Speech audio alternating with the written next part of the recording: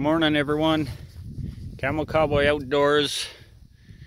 It's december 16th i guess. 16th of december. And it's only minus eight. It's warmed up a lot. Uneventful day on the trap line but i just checked my ice set out here and i caught a really beautiful dog Absolutely beautiful. This is a set where they were coming across the lake. And um, of course it doesn't give you much to anchor on. But he was coming through here, through these rushes. So I set a power ram here. And I drove a pin in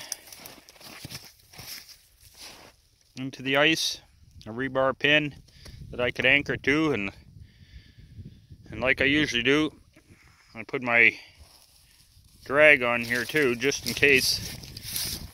I mean now they would never pull that pin out but the first day I put that pin in it was fairly loose. And if I would have caught one right away they could have pulled it out.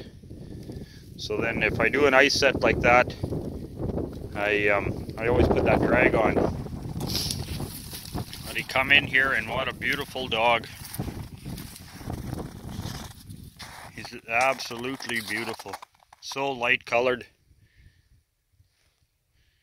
I'm pretty happy with that one. Um, I only got a couple more. Hey, there you can, there you can see where they've been coming. Right through there, but yeah, I only got a couple more sets to check. Uh, see if the wolf's been around or been back. But anyways, I'm sure this will be it for the day. So, I am going to sign off. I just thought you guys would want to see this maybe, and I thank you for watching. See you down the trail.